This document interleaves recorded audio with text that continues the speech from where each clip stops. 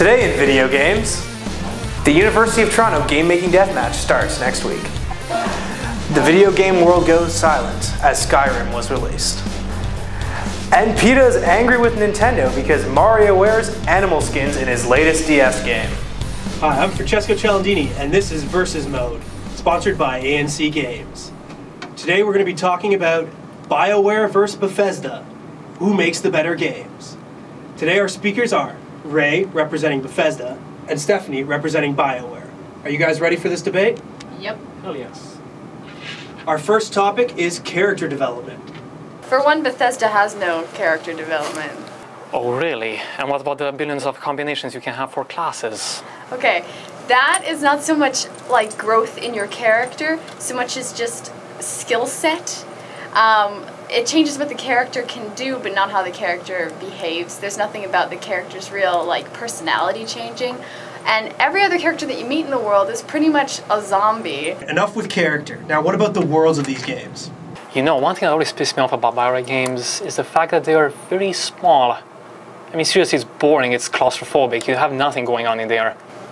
Okay, so I'd just like to say that the fact that the world is small is totally made up for by the fact that they have so much story. They have to put you on a bit of a rail to make sure that you go where you're supposed to go so that you find out what the story is.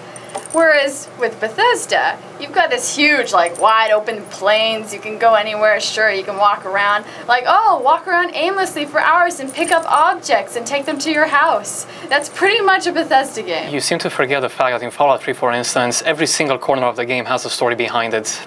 Even if you don't look directly at it, there's still something hidden there, always. Well, obviously the stories aren't important enough to draw everyone's attention.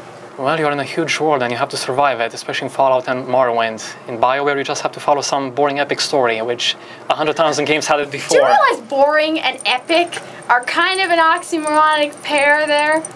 Not really. In this case, it's just very generic. Before this gets boring and epic, uh, let's change to the next one game mechanics.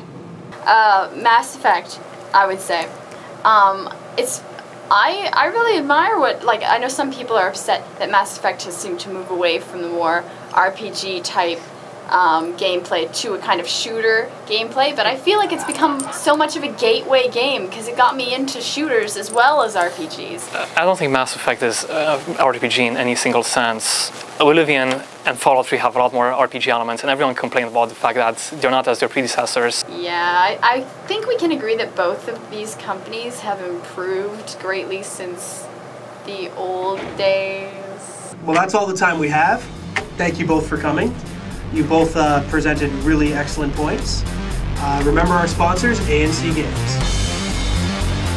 Nice, Jim. I'm Francesco Cialdini. This was Versus Mode. Keep on grinding.